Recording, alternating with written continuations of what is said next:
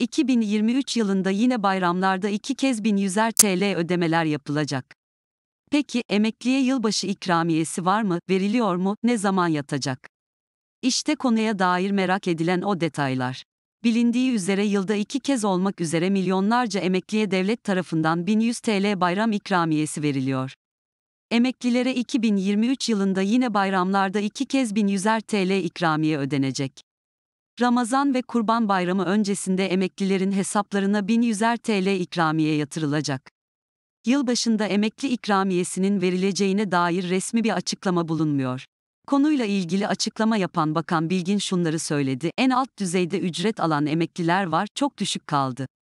Açıklandığı gün fena değildi, enflasyon şartları içinde az kaldı.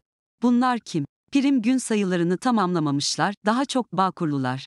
Devlet, bu insanlarımıza borçlanma imkanı getirelim, demişler. Prim borçlarını bağladıkları emekli maaşından ödenmiş. Bir sosyal destek bu. Bunların sayısı 500 bin civarında. Bunları da biz nasıl sosyal devlet ücretsiz, gelirsiz kimseyi bırakmaz diye bir düzenleme yaptıysa, bunlar da yeniden ele alınarak düzenlenecek. Milyonlarca emekliye verilen ikramiyeler, sadece dini bayramları yani Ramazan ve Kurban bayramlarını kapsıyor.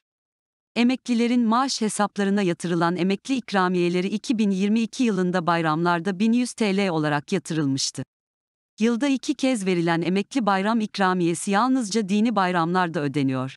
Yılbaşı ikramiyesinin yatırılacağına dair herhangi bir açıklama ve bilgi bulunmuyor. Ramazan ve Kurban bayramlarında emeklilere ödenen bayram ikramiyeleri genelde bayramdan bir hafta önce hesaplara yatırılıyor.